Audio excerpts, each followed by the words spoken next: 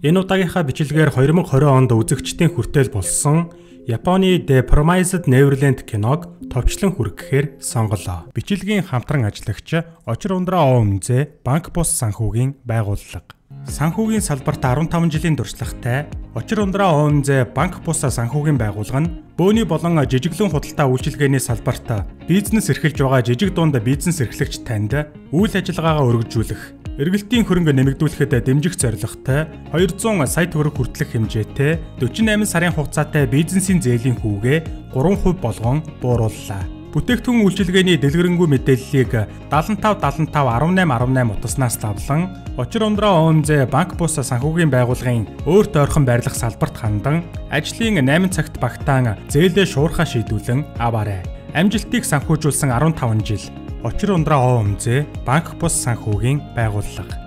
11 настай охин Эмма өглөө сэрээд нэг танхимд унтаж байгаа бусад хүүхдүүдээ сэрээж байгаагаар кино хэлдэг. Тэд Грэсфилд хаус хэмээх асар том асрамжийн газарт амьдардаг бөгөөд энд тэднийг бүхэл хэрэгцээтэй зүйлсээр нь хангадаг. Мөн тэднийг ээж гэж дууддаг Изабелла хэмээх эмэгтэй удирдана. Хэдийгээр хүүхдүүд цусан төрлийн холбоогүй ч яг л нэг томоохон гэр бүл шиг амьдарч ээжээсээ маш их хайрыг хүртдэг байлаа. Эмма хүн бүрийг сэрээснээр тэдний өглөө эхэлж дараа нь тэд эрүүл хоол хүнсээр дүүрэн ширээнд сууж өглөөний цайгаа ууна. Энэ насрамжийн газарт хүүхдүүдийн боловсрол аз жаргалыг нэн тэргүүнд тавьдаг. Тиймээс тэд асрамжийн газартаа бусад сургуулийн адил хичээллэн. Эмма болон түүний хамгийн сайн хоёр найз болох Норман Рейнар хичээлдээ үргэлж шилдэгн байж хамгийн өндөр оноог авдаг. Мөн хүүхэд бүр өөр өөрийн таних дугаар бүхий Швестегийн зэрэгцээ гадаад ертөнцийн талаар ямар ч мэдлэггүй. Асрамжийн газар нь байгалийн сайхнаар хүрээлэгдсэн бөгөөд хүүхдүүд хамтдаа гүйлдэж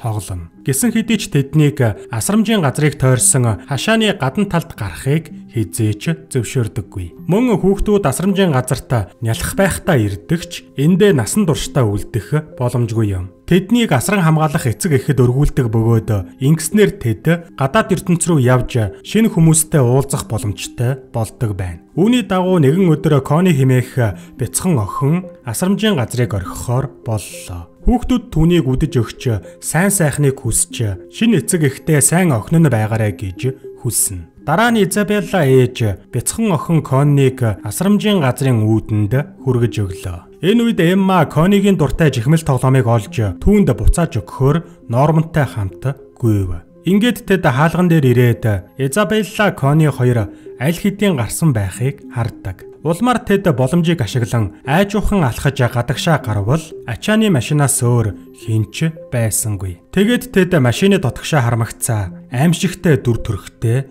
нүүр тулгарлаа. Конигийн цээжинд цэцэг зоочсон үгсэн байдалтай хэвтэж байв. Энэ үеэр хоёр аимшигтай аратан ойртож ирэхэд Эмма Норман хоёр машин доогуур нуугдан цочролт орон хөшиж орхилоо. Аратнууд хоорондоо хүний мах хамгийн амттай гэж ярилцсан. Нэг аратн нь энэ фирмээс ирдэг махнууд хамгийн сайн чанарынх баян аратнуудад зориулж хадгалдаг гэдгийг хэлдэг. Үүнийг нь сонсоод хоёр хүүхэд өөрсдийнх нь асрамжийн газар бол үхэр шиг тэжээдэг аратнуудыг хооллдог фирм байсан гэдгийг ойлгоно. Хүүхдүүдийг илүү ухаантай байх тусмаа сайн чанарын мах гэж ангилдаг байна. Удалгүй Изабелла хурж ирээд хичээлдээ хамгийн өндөр оноо авсан сурагчдын талаар ярилцлаа. Ийм сурагчид хамгийн амттай болохоор эрэлт хэрэгцээ өндөр байдаг. Харин Изабелла хүүхдүүдийг илүү амттай, эрэлт хэрэгцээтэй болгохын тулд хичээл зааж ухаантай болгодог байжээ. Ингээд тэр тэдэнд дараагийн удаа хамгийн ухаантай хүүхдийг авчирна гэдгээ амлалаа. Үүнийг мэдсэн Эма Норман хоёр хэндэж анзаарагдaltaгүй зүгтааж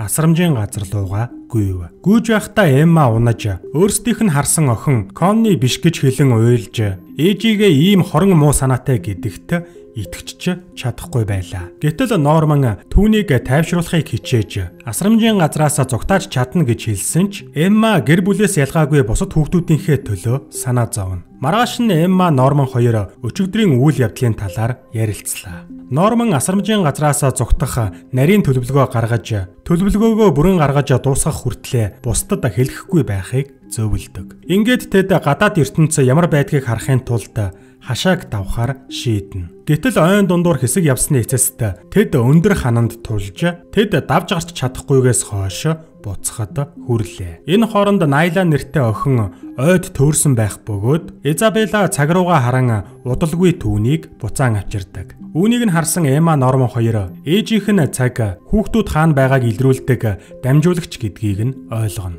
Маргааш нь Эмма Нормон хоёр ханыг давахын тулд ол саван ойроо явлаа. Энэ үед тэд сайн найз Рейд баригдаж тэр тэднийг сэжгэлдэг. Улмаар Нормон Рейд тэр шөнө харж сонссон бүх зүйлийнхээ тухай, асрамжийн газрын тухай бүхэл үннийг хэлнэ. Гайхмаар нь Рэй тэдэнд бодсноос ч илүү хурдан итгэдэг. Тэр тэдэнд асрамжийн газраас аль болох хурдан зүгтаах хэрэгтэй гэж хэлсэн ч Эмма бусад хүүхдүүдийг аратнуудын хоол болог гээд орхиж чадахгүй гэж эсэргүүцлээ. Оройн Изабелла хүн бүрт шинэ асрагч Кроник танилцуулснаар хүүхдүүд зүгтаахад илүү хэцүү болдог. Шинэ Изабелла Конигийн тоглоомыг олж Эмма Норман Рэй нар асрамжийн газрын жинхэнэ зорилгыг мэдсэн. Тиймээс тэднийг зүгтаалгаж огтоо болохгүй гэж Кронитэй ярилцсан. Дараа нь гурван хүүхэд тусдаа ярилцлаа. Норман хүүхдүүдийн хэн нэг нь Изабеллагийн тагнуул бөгөөд түүнд бүх мэдээллийг өгдөг гэдэгт итгэлтэй байв. Хэрвээ тийм бол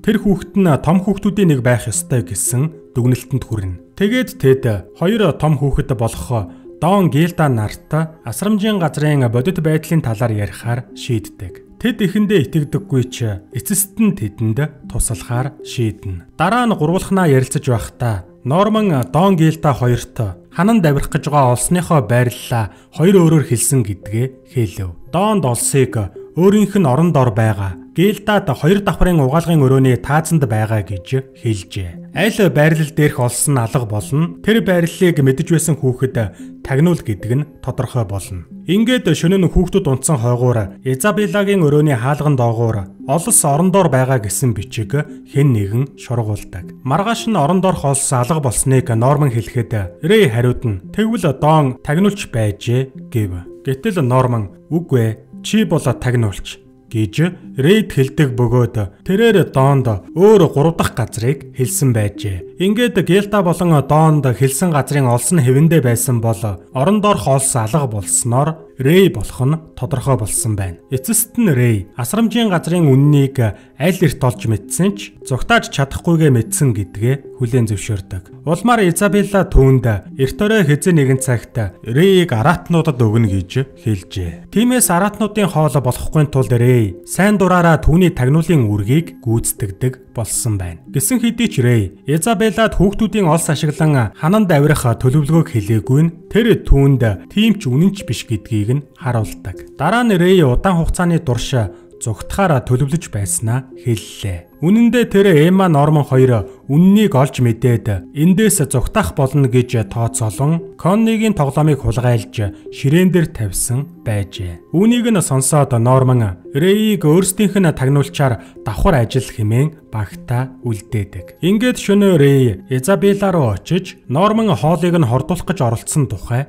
түүнд худал мэдээлнэ. Изабелла түүнд талархаж байгаа ч Рэйг аратнуудад өгөх ээлж нь ойртож байгааг хэллээ. Маргааш нь таван хүүхэд хан руу авирах төлөвлөгөөгөө ярилцаж байхад Кроны тэдний яриаг сонссон байдаг. Хачирхалтай нь тэр тэднийг Изабеллад хэлэх ёстой байтал эсэргээрээ тэдэнтэй нэгдэнэ. Гэтэл Кроны тэдэнтэй адил энтхийн хүүхэд байсан болж таарлаа. Тэр Изабеллаг халж асрамжийн газрын шинэ ээж болохыг хүсэж байгаа бөгөөд үүний тулд хүүхдүүдэд туслахад бэлэн байгаагаа хэллээ. Шөндөө тэд түүний өрөөнд зочлоход Кроны гадаад ертөнцийн талаар мэддэг бүхнээ хэлж өгдөг. Мянган жилийн өмнө хүн болон аратнууд дайтаж байсан. Ингээд удаан хугацаанд дайцсны эцэст аратан болон хүмүүс бие биедээ саад болохгүй байхаар шийджээ. Улмаар амлалт нэртэй гэрээ хийгдсэн бөгөөд уг гэрээний дагуу хүн аратан хоёр өөр өөрсдийн ертөнцид амьдрах болсон байна. Харин зарим хүмүүс нь аратнуудын ертөнцид үлдсэн ба ингэснээр хүмүүсийг үржүүлэх газар бий болж эхэлсэн. Ухаантай хүмүүсийг эзснээр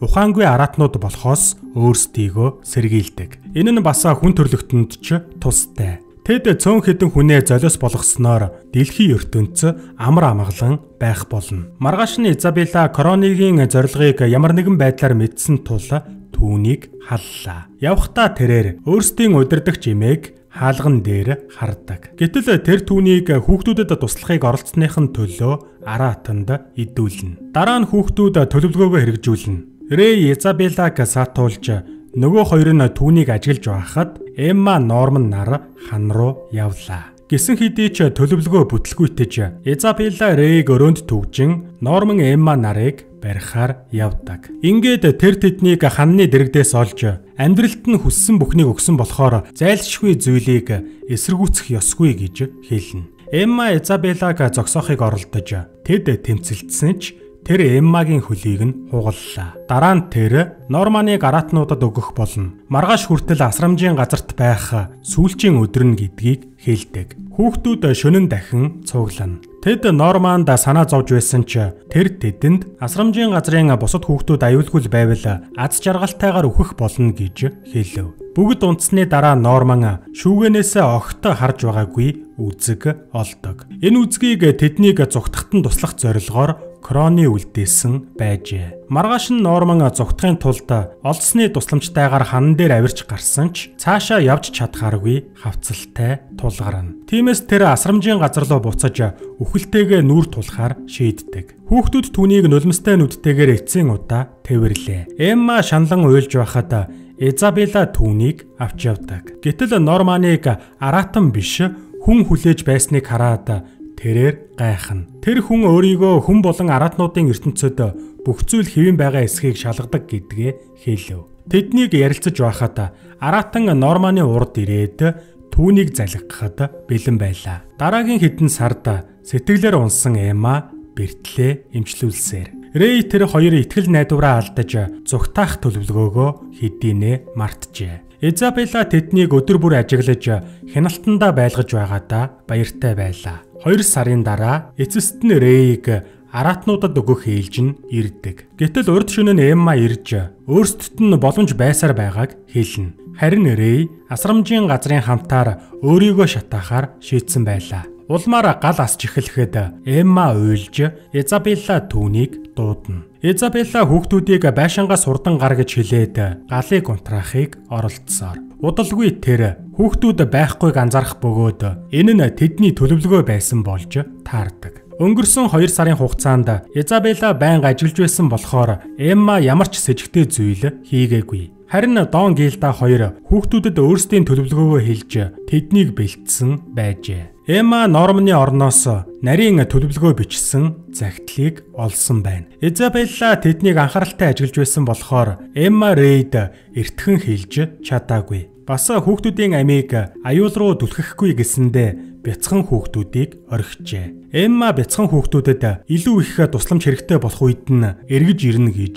амласан байна. Хүүхдүүд хананд авирах бөгөөд Изабелла чиглүүлэгчээ ашиглан хүүхдүүдийн араас явлаа. Гэтэл хүүхдүүд төхөөрөмжийг жихнээсээ салгасан тул чиглүүлэгч ажиллахгүй байгааг тэр удалгүй ойлгодог. Эцэст нь хүүхдүүд ханан дээр гарч нөгөө тал руу олсоор дамжин гулсан. Эмма ганцаараа үлдэх үед Изабелла хурж ирэн олсыг нь таслах болно гэж сүрдүүлдэг. Хүүхдүүдийг өхөл рүү түлхэх түүний хувьд хэцүү байсныг нь ойлгож байна гэж Эмма хэлв. Ер нь бол Изабелла хүүхдүүд өсч том болон энэ хүртэл зугтаасанд нь бахархаж байсан юм. Гэсэн ч Изабелла Эммагийн хэлсэн бүхнийг үгүйсгэж хүүхдүүдийг буцааж авч ирэхийг хичээсээр. Улмаар Эмма эрсдэл гаргаж олсоор доошо буухад Изабелла олсыг таслах гэж байснаа болдог. Тэр ханны нөгөө талд байгаа өөрийн хүүхдүүд рүүгээ хараад сүүлчийн удаа инээмсэглэлээ. Ингээд хүүхдүүд ширэнгэн ойн дундуур явж байхад Эмма тэдэнд Кронигийн үлдээсэн үзэгний талаар хэлнэ. Үзгийг нээх үед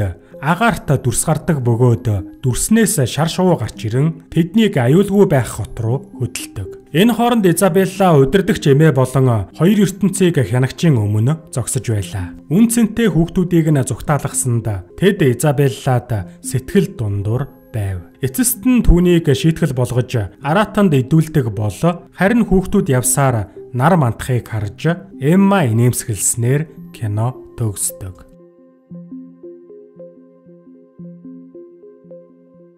Яг одоо энэ бичлэгтээ зэрэгцсэн дахиад нэг бичлэг орсон болохоор энэхүү бичлэгээ үзэж дуусчаад дараагийн бичлэгээ үзээрэй.